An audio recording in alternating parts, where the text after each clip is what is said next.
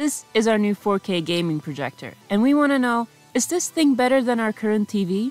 Let's find out. The projector in question is the BenQ X3000i gaming projector and was sent to us for review. To start, the screen size alone that this projector is capable of is enough to make you want to forget all about your normal TV. Here we have it set to 100 inches, but it goes all the way up to 150, providing a really immersive experience whether you are gaming or watching a movie.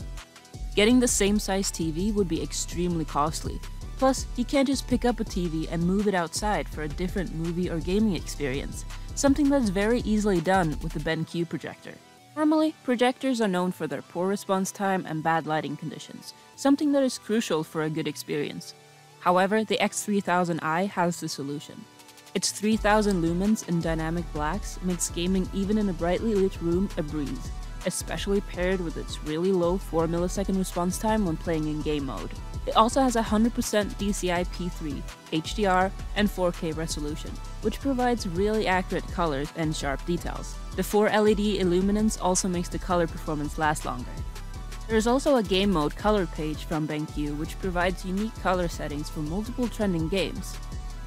Here we are trying it for Horizon Forbidden West on PS5, and you can see what a huge difference it makes. We will have links to all these color settings in the description below, and we highly recommend using it with your projector to get the best possible image. If you prefer to game at a high frame rate, fear not. With options to game in 4K 60fps or 1080p 240fps, this projector has you covered with butter smooth gameplay.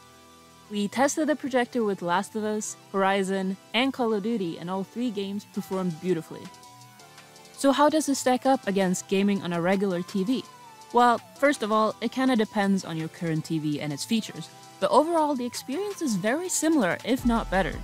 This is mostly thanks to its better screen size, portability, and low latency, as well as similar brightness, contrast, color accuracy, and smart features.